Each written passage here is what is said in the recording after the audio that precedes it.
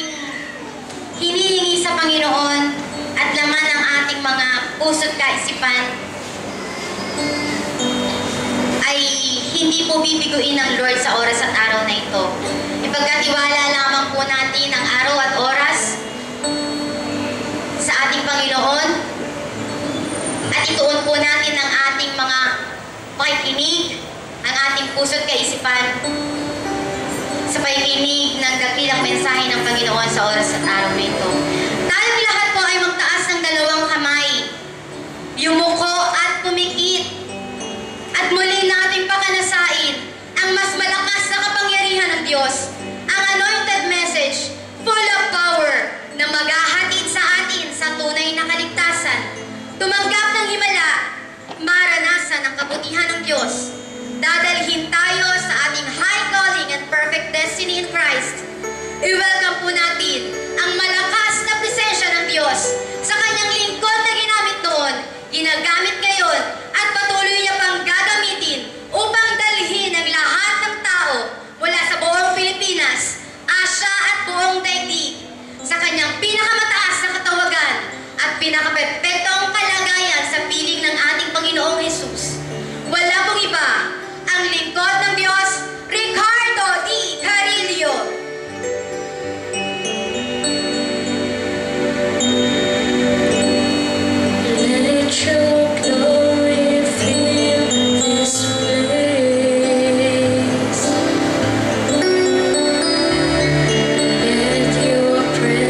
eyes.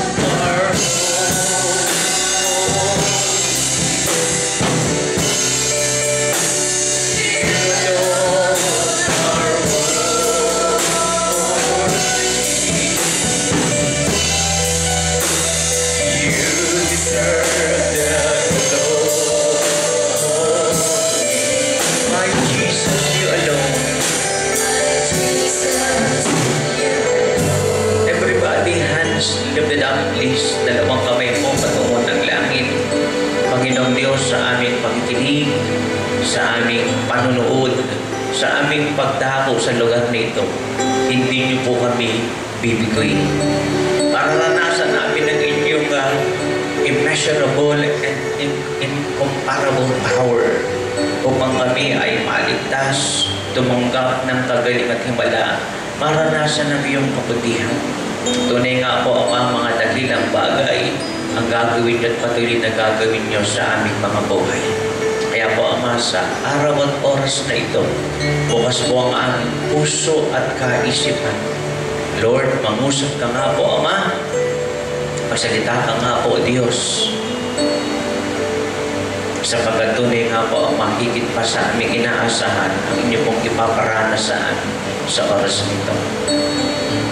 So, ngayon pa lamang dakilang Ama, wala na po kaming masabi. Take all the glory of God. Take all the honor and the worship and the adoration. Yan po ay para lamang sa inyong dakilang pangalan sa pangalan ni Kristo Jesus. Malakas sa palakpak po sa Diyos. Tayo pong lahat ay makakaupo po. Habang tayo pong lahat ay nakaupo. Napakaganda ho nitong kapahayagang ito. Sobrang ganda talaga. Praise God. So, tingnan natin yung uh, mamagat. So, pala natin yan. Overflow with God's power always. Umapaw. Pakisabi umapaw sa kapangyarihan ng Diyos palagi. Umapaw sa kapangyarihan ng Diyos palagi. Bakit kinakailangan natin umapaw sa kapangyarihan ng Diyos? Pero bago yun ay buksan natin ang Acts 1.8. The book of Acts chapter 1 verse 8 says, But you will receive power. Say it. Power!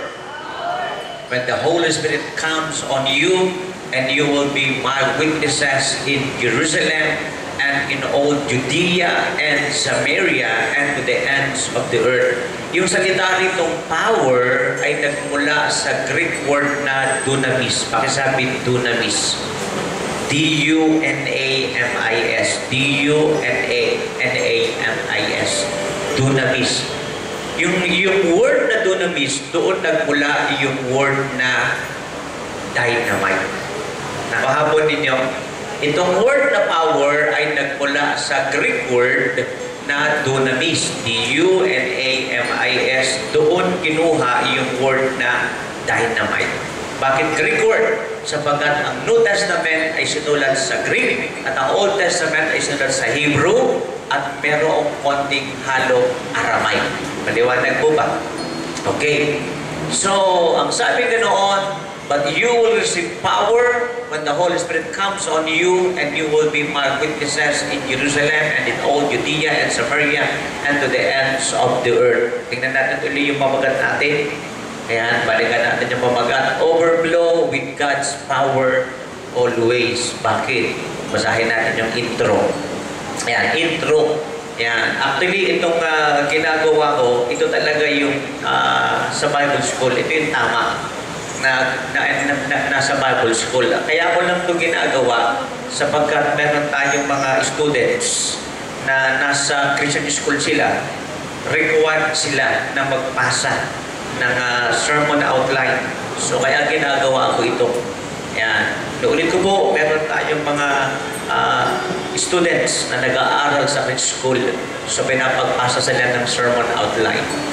Yan. Life full of power is fruitful and useful life. Nakikinig pa ba tayo? Ang buhay na puno ng kapangyarihan ay mabunga at kagamit-gamit. Now, like battery, it must be fully charged, always to be useful. Nakakita na ba kayo ng battery? Yung battery na lang ng cellphone natin. Sino yung uh, may cellphone? Oh, imposible wala kayong cellphone. No, wala na kayong uh, kainin, huwag lang cellphone sa totoo lang. At mga minamahal, ang, ang battery ng cellphone ay dapat na fully charged. Tama? May tao mo ba? Dapat fully charged, no? Sabi nila, i-drain mo yung battery ng cellphone mo once in a while para humaba ang buhay. Pero ako, hindi ko dinidrain talaga.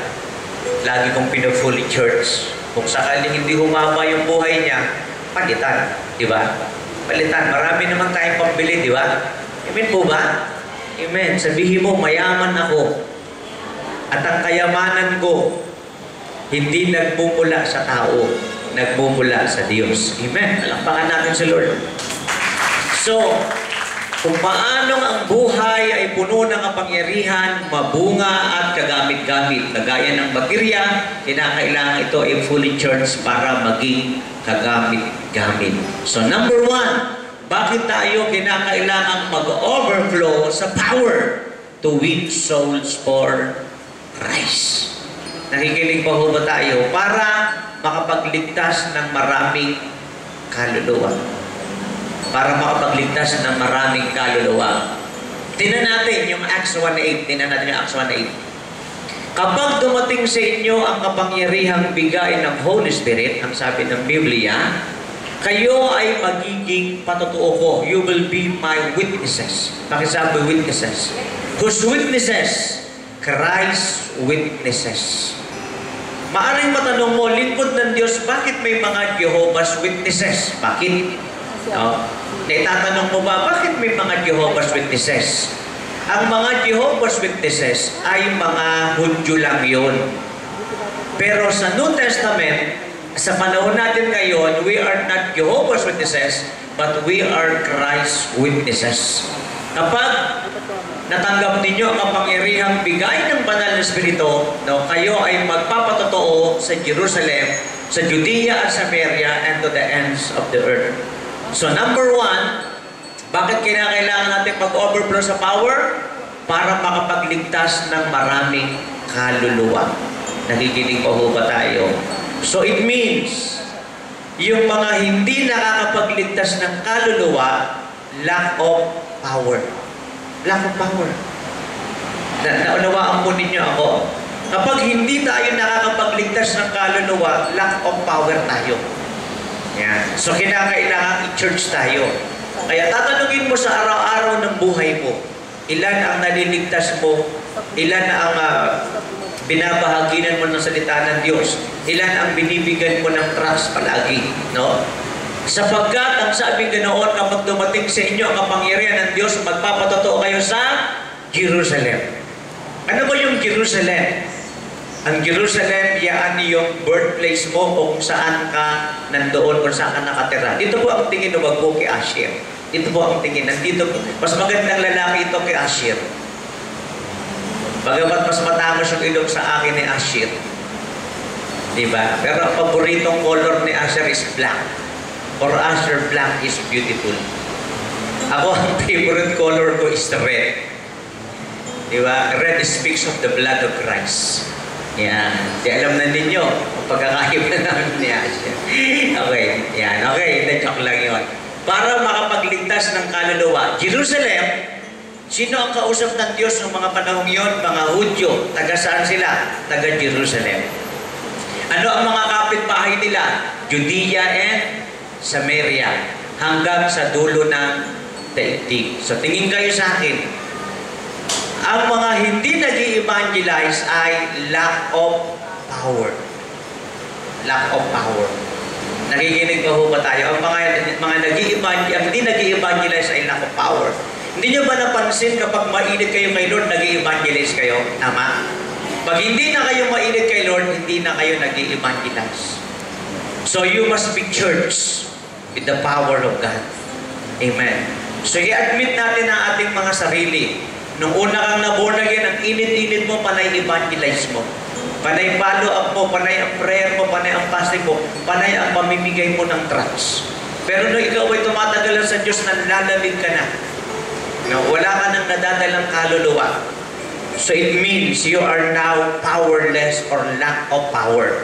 Samantala, kung ikaw ay puno ng kapangyarihan ng Diyos, kung saan ka nakatira, kung saan ka pinanganak, magsisimula kang mag-evangelize dyan. Pagkatapos yung mga kapitbahay mo, i-evangelize mo. At pagkatapos ka saan ka man makarating sa saan mang panig ng mundo, mag evangelize ka. Amen! Naunawaan ninyo ako, sapagkat ikaw ay mayroong power. Pahirap naman ng cellphone mo, ay sorry, ano eh, empty bat uh, or lobat. So hindi magamit yung cellphone kasi empty bat or lobat. So minsan ang buhay natin hindi magamit ni Lord. Hindi tayo makapagligtas ng kaluluwa sapagkat lack of power, kulang ng power. Amen. Naunawaan po ba natin? Kulang tayo ng power. Hindi nakakapagligtas ng kaluluwa, walang naliligtas, walang nai-evangelize, walang nadadala sa Diyos, walang napapalo up, walang nasusundo, walang nai-invite, walang natuturuan, wala.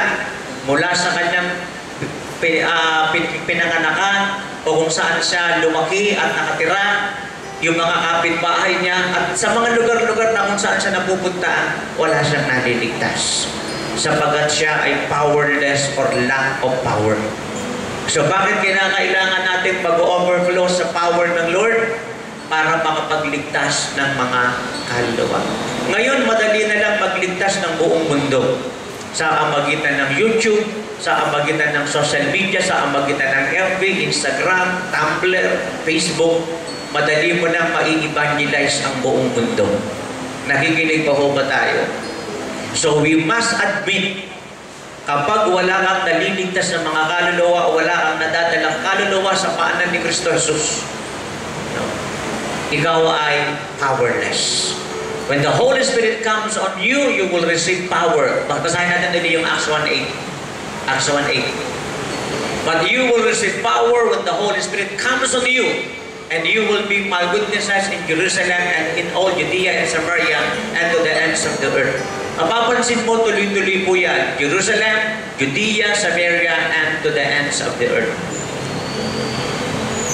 Tuloy-tuloy po yan, mga minamahal. Kaya po ang magliligtas ng kaluluwa ay tuloy-tuloy.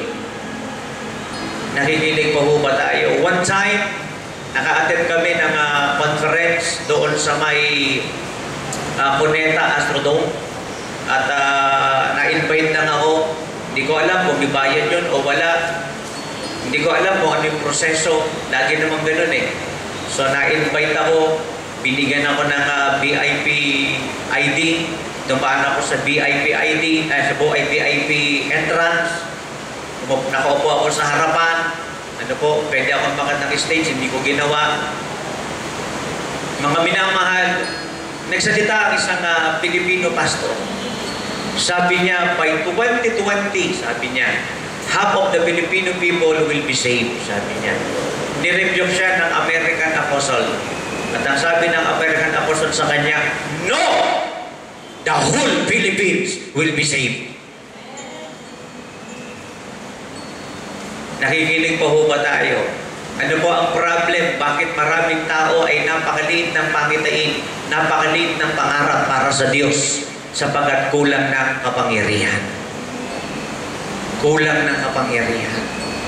Kulang ng power. Nakikinig pa ho ba tayo?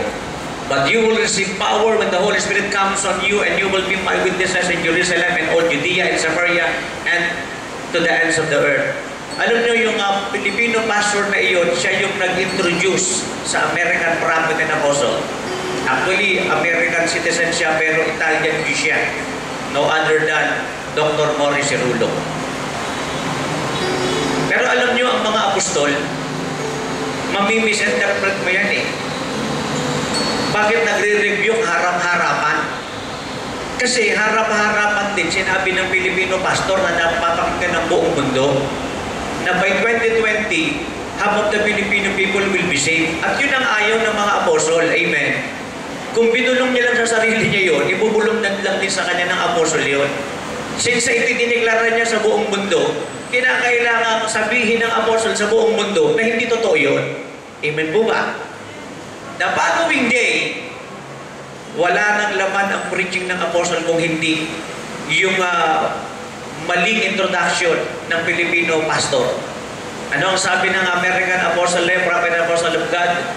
No, ano sabi niya? Actually, Italian Jew siya, pero American citizen. Anong sabi niya? Punong-puno tayo ng negativism. Punong-puno tayo ng negatibo sa ating mga puso. Amen. Nakikinig pa ho ba tayo? Lagi na lang nating nililimitahan ang Diyos. At ang hindi natin alam, ang Diyos ay napakalaki. Amen? Hindi ka binigyan ng asawa mo ng ganito. Ba't umiiyak ka? Di ba na kaya napakaganda ng, ah, ng ah, sinabi ni ah, ate, ate Ann. Ann ka na lang kasi may Roan din doon eh. Kaya ayaw naman nun ng Carla, Roan. Kaya nga si Ruth, Ruth Ann yun eh. Ginawa ko na lang Ruth Ruth. o ayaw ng Ruth Ruth, Kurut. ang ganda ng prophecy ni Ate Chiki, di ba? Hindi na ito ang panahon na hihingi ka kung kani-kanino. Humingi ka sa Diyos at bibigyan ka ng Diyos. hihingi ka sa tao, mabibigo ka pa eh. Humingi ka sa Diyos. Hindi ka mabibigo. Amen! Mahirap umasa sa tao. Mahirap. Ang tao laging may question, sabi nga. Ang tao laging may tanong, ang tao laging may panunumpat. Kasi tao nga eh. Sa Diyos ka hihingi. Kaya nung sinasabi ng Pilipino pastor na yun, by 2020, half of the Filipino people will be saved. The and apostle from America rebuke him. At anong sabi niya? No! All Filipino people will be saved. Sabi niya, punong-puno tayo ng negativism eh. Napakalaki ng Diyos natin. Ano ang, ano ang problema? Eh, kulang ng power eh. Kulang ng power. May tao ba ho ba rito? Subukan mong mahinang power lang ang dumaloy sa katawan mo. Wala, magaground ka lang, di ba? Eh, subukan mo malakas na power nga dumaloy sa katawan mo, abay, tutong ka. As in, tutong. Tutong ka talaga, mangingitim ka talaga. Nagigiling pa ho ba tayo? But you will receive power when the Holy Spirit comes on you, and you will be my witnesses in Jerusalem and all Judea and Samaria and to the ends of the earth. Magpapatotoo kayo sa akin, no? Mula sa kung saan ka pinanganak, kung saan ka nakatira ngayon, magpapatotoo ka sa mga kapitbahay mo. Magpapatotoo ka sa kung saan ka man makakarating. Kaya yung nagpupunta kung saan saang lugar, kung saan saang bansa, walang na-evangelize, walang naitatanyong gawain, aminin na lang po natin ang katotohanan. Powerless tayo. Amen. Powerless. Pero pag tayo ay may power, amen, marami tayong maliligtas. Amen. Palakpakan natin si Lord. Hallelujah. So number one, ano ang reason bakit kinakailangan mag-overflow tayo sa sa power of God? To win souls for Christ. From our birthplace to, to, to, to, sa, patungo sa ating mga neighbors hanggang sa dulo ng daigdig saan man tayo makarating. Nakikinig pa ho ba tayo? Yun. So number two, number two, to be used by God mightily and effectively. Number two muna tayo. To be used by God mightily and effectively. Para nagiging kagamit-gamit tayo. Nakikinig po ho ba tayo? Gawa, Jes 38. Gawa, Jes 38. Anong sabi sa Gawa, Jes 38? Tingnan po natin yan. Basahin po natin. Yan. How God anointed Jesus of Nazareth with the Holy Spirit and power. Ang pangalan ni Jesus, Jesus. Yung Christ, hindi niya apelyido yun. Ang ibig sabihin ng Christ, Messiah. Nakahapon ninyo.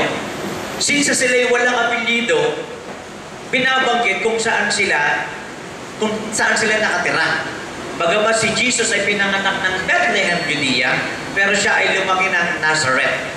Kaya kung tawagin si Jesus ay Jesus of Nazareth. Parang si Leonardo, yung nag-drawing ng uh, Last Supper at ng Mona Lisa. Leonardo da Vinci. Hindi niya apelido yung Bin- da Vinci.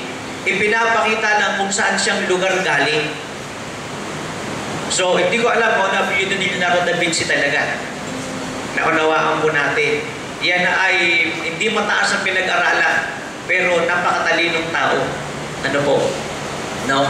How God anointed Jesus of Nazareth with the Holy Spirit and power. Pakisabi ang power. And how He went around doing good and healing all who were under the power of the devil because God was with Him. Kahit saan magpunta sa Jesus, meron siyang nililigtas. Kahit saan magpunta sa Jesus, meron siyang pinapagaling. Amen? Hindi niyo ba napapansin, pag tatayo ako, ito ang laging sinasabi. mararanasan natin ang malakas na kapangyarihan ng Diyos upang madala tayo sa tunay na kalig- kaligtasan. Tumanggap ng kagaling at himala. Maranasan natin ang kabutihan ng Diyos. Dadalhin tayo sa ating high calling and perfect destiny in Christ. Nang ibig sabihin, magawa natin ang kalooban ng Diyos hanggang sa huling hininga ng ating buhay. So that is the mandate. Saan man magpunta si Jesus, ano po? Ay gumagawa siya ng mabuti. And how He went around doing good. Pakisabi, doing good. Blessing siya.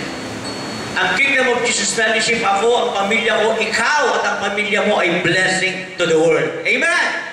Pakisabi mo, I, my family, the KOJF, the Philippine Islands, are blessings to the world.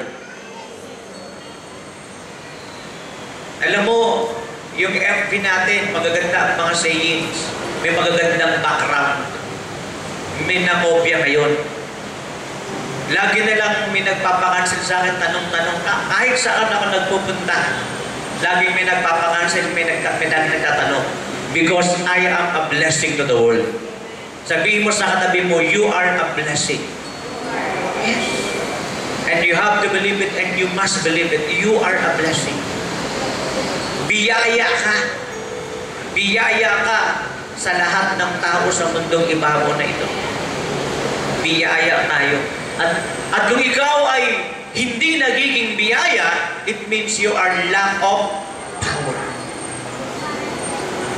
Para naglan lalo kang maging biyaya, eh dapat ikaw ay laging full of power. Na nakaraan, nagpagupit ako.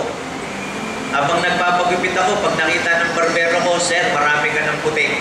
Kukulayan na natin. Sige, kulayan mo na. Maya-maya may pumasok. Nagpamanicure, isa ring lingkod ng Diyos. Inauna siya sa akin, nagpamanicure lang siya. Ako nagpagupit at nagpahulay pa. Ganyan. So, di alam mo na na ano na ako, ah, tigulang na. Kaya nga tinamoy noo ko, medyo dangas na. In Jesus' name.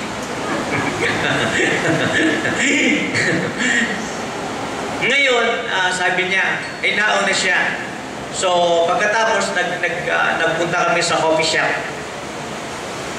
Kaya pala niya ako gustong makausap sa isang coffee shop sapagat marami siyang tanong. Ano raw ba ang masasabi ko para magabayan ng iglesia niya? At nakakagala because we are blessings to the world. Amen? Pagpapala